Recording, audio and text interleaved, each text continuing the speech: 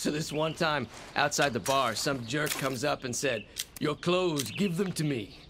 Tried to take my boots and motorcycle, too. I just popped him in the face. Nobody takes my ride. Fuck you, asshole.